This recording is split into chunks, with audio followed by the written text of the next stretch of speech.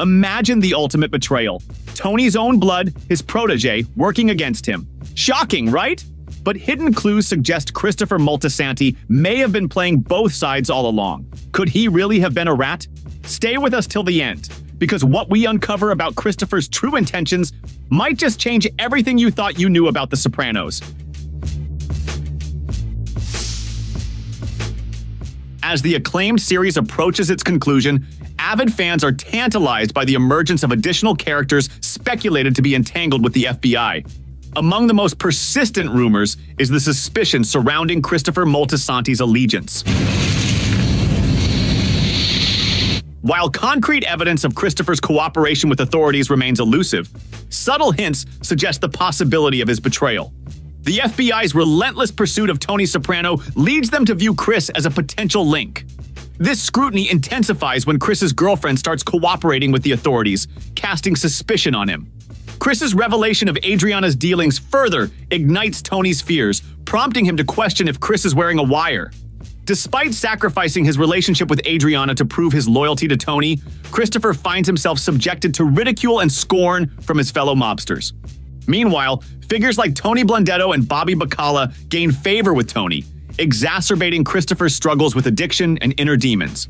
Christopher's sacrifices for the family are met with derision and disrespect from his peers, with Paulie even jesting about Christopher's daughter's potential future as a dancer at the Bada Bing. You never heard of pulling out? Amidst this turmoil, Christopher undergoes a significant personal transformation, embracing roles as a husband and father, and grappling with the newfound need to protect his family. Like I always say, a man is not complete till he's married. Then he's finished.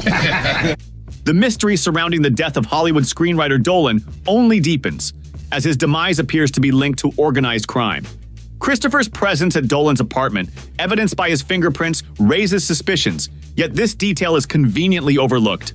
The hushed nature of Dolan's murder suggests the involvement of clandestine forces, possibly manipulated by the FBI. Could Dolan's death have been intentionally downplayed to use as leverage against Christopher? Was it a strategic move by authorities to pressure him, a valuable target? Reflecting on JT's fate in The Sopranos, one wonders how Tony would react to such a situation. JT's untimely demise could have brought unwanted attention and trouble to the Soprano family, yet Tony remains strangely silent, prompting speculation about his awareness of the event. Chris, you're in the mafia. Furthermore, Moltisanti jests about Sammy the Bull. Gravano's opulent lifestyle facilitated by the Witness Protection Program, attributing it to the government's seemingly endless resources. Gravano was living large down Arizona oil on that federal tit. Examining Gravano, as Christopher mentions before his confrontation with JT Dolan, amplifies the significance. Gravano, essentially a serial killer with around 19 confirmed murders, received a reduced sentence by cooperating with the FBI against Gotti. In Walk Like a Man, Christopher drunkenly confides in JT Dolan about his influence within the mafia and ponders betrayal. You have any idea if I wanted what I could do to these pricks? Skip's actions in safeguarding informants like Salvatore underscore the FBI's prioritization of assets over adherence to the law despite awareness of criminal behavior. It's evident that Skip Lipari was aware of Sal's involvement in Matthew's massacre, but opted to overlook it, likely aiming to target Tony Soprano. Therefore, the FBI chooses not to pursue Christopher criminally, seeking his collaboration to reach Tony. During the crucial meeting with Tony and Phil, Christopher's demeanor appears oddly detached.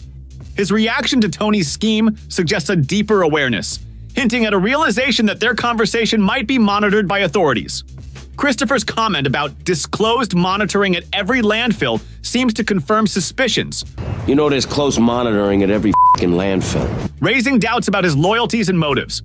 This explains his uncharacteristic willingness to meet Phil's terms to avoid conflict. While some fans speculate that Christopher's docile behavior stems from being high on heroin, it's revealed that he actually had cocaine in his system, a substance known to induce aggression. Despite his disdain for Phil, Christopher would rather confront him than comply, reflecting their tumultuous relationship. Frankly, Tom, I'm thinking maybe we should meet Phil's number.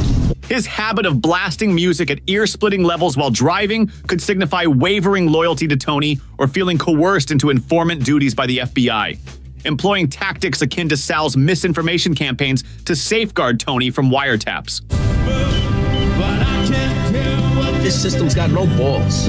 Notably, the soundtrack they favor is from The Departed, a film rich with themes of betrayal and informants. Consider the peculiar incident when Tony discusses Phil and their illicit dealings, and Christopher promptly increases the radio volume in apparent frustration, possibly to obscure wire transmissions. His fixation on eluding drug tests seems odd, given his involvement in illegal activities. However, if sobriety is a condition of his agreement with authorities, Christopher faces a genuine dilemma. Especially noteworthy is Christopher's reluctance to admit drug use to Tony, reminiscent of the severe beating he endured after getting high following Adriana's death. I'll never pass the drug test. His true fear lies in Tony discovering a wire if emergency responders find him in a compromised state. In a previous episode, Christopher informs Paulie about a state trooper installing a drop ceiling in his basement, raising eyebrows. Throughout The Sopranos, authorities attempted to bug Tony Soprano's house, succeeding once but thwarted by Meadows' timely intervention. Why didn't they bug Christopher's? His drug use impaired judgment and tendency to ramble made him a prime target. With a family to consider, Christopher ultimately decides to cooperate, weighing the risks and rewards. Could he have been planning a new life in witness protection, writing his memoirs, or pursuing a career in modeling? Share your thoughts on this intriguing theory below. One phone call and it's over. The whole fucking castle comes down like Subscribe to Vano VHS and hit the notification bell. Meanwhile, check out our video on what really happened to Tony Soprano in the last episode, or find out who's the best boss, capo, soldier, and associate in The Sopranos. Don't miss out.